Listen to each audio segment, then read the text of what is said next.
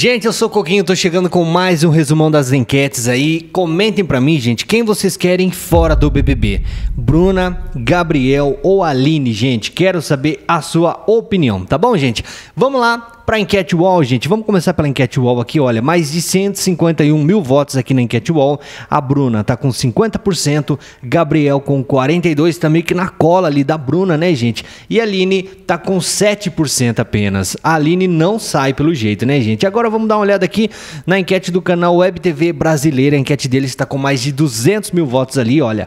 A Aline tá com 13, Bruna tá com 59% e o Gabriel com 28, gente. E agora vamos dar uma olhada aqui nas parciais do Votalhada, né? Na enquete atualizada aqui do Votalhada, gente. Olha só, vamos começar aqui, ó.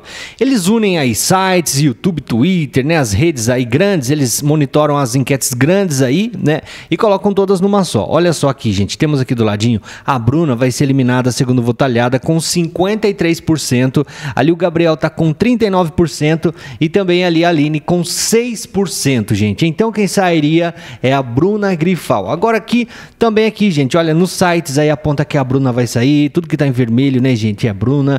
Também aqui no Twitter, os perfis ali do Twitter, né? Também aqui no YouTube, todas as enquetes do YouTube apontam a saída da Bruna e também aqui do Telegram a saída da Bruna também. Deixa nos comentários aí se vocês querem que a Bruna saia, qual que é a sua opinião que eu quero saber, tá bom, gente?